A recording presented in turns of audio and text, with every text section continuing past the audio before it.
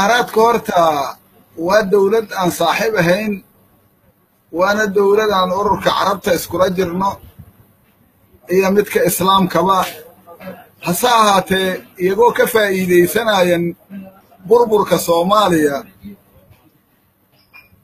ayay mataqaanaa soomaaliya marka istiraatiiji iyaga ay ku danaysanayaan ayay la yimaadeen inkastoo dadka soomaaliyeedna ay marmarka qaarkood ay caawinayeen oo haddee dhib kaliya ma ahayna dheef barteedna waa laga helaayey. Oo ummadda soomaaliyeed dad badan oo ay mar walba gacanaa laga helaayay hase ahaatee waxay ku soo duuleen oo ay markii ugu dambaysay ay dowladdan soomaaliya u adadkaysa weyday. Faragelintii qawneed ee ay dekedda berbera ay mataqaanaa heshiiska? Ayna dowladda federaalka ayna ka warhayn ay la gashay? Taasoo markaas haddana dowladda etoobiyana ay ku soo dartay. Marka wixii waxay noqdeen marka markii la fiiriyey meel ayna ka jirin nidaamka dawliga maxaa yeelay haddii ay laba dowladeed wada hadlaayaan waa la yaqaan laakiin wixii waxay noqdeen wax uun kaliya. Qof walbow dhinacaaga ka gooso ayay u ekaatay. Taasna dowladda soomaaliya kuma ekaane markii ay muujisay oo welwel iyo qayla ka muujisana barlamaankii soomaaliya ayaa maalintii hadda ugu dambaysa seshinkan ugu dambeeyey ama fadhigan ugu dambeeyey oo madaxweynuhu uu furaayey oo ay ka soo wada qayb galeen dowlad goboleedyadu ayaa si isku mida oo aragti midaysanay ummadda soomaaliyeed.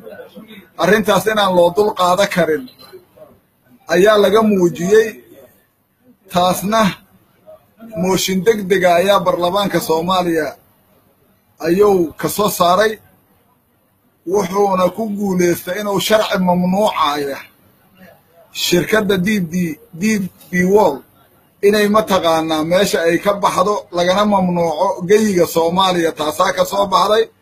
Oo si wada jira mataqaanaa hadday dowlad goboleed tahay iyo hadday heer federaal tahay iyo hadday barlamaankii tahaba si muwaafaqa leh loo wajahay. Wixii waxaas ka dambeeyana iyaga haddee sidii ay u hadleen waa ogeedo waxay nidaamkii diblomaasiyadda.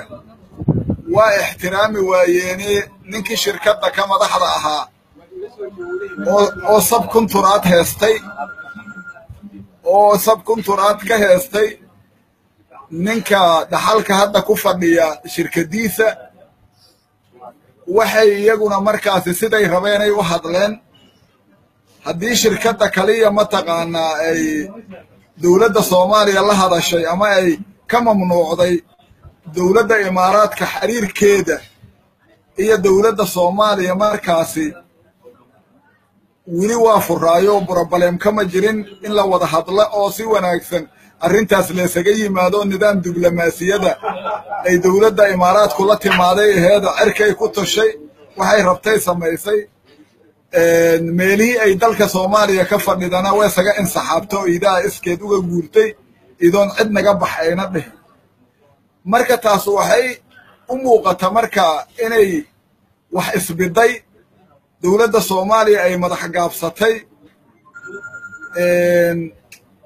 oo markaasi ay sharaftii iyo karaamadii iyo independensiga waxa loo yaqaana ama mataqaanaa madax bannaanida territoriyada soomaaliya inaynan markaas mataqaanaa ina waxba u hambayahayn dowladda soomaaliyana waxaad ogtahay inay markaasi dacwo ay u gudbisay jaamacadda carabta. Jaamacadda carabta markii ay u gudbisana in wada hadal laga galo dowladda soomaaliya way soo dhoweysay cabashana way muujisay. Markaas haddee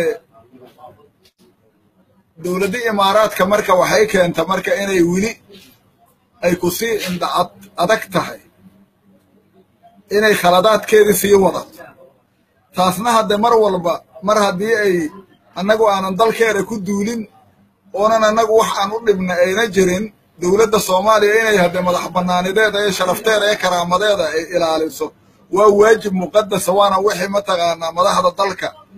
Ayaaba mataqaanaa haddii ay arrintaasi ay tillaabta ku habboon ka qaadi waayaan iyagaa xil ku wey kar sidaa darteed marka shacabka soomaaliyeed iyo dowladdoodu marka arrintaas iska caabin weyn ayay ka sameeyeen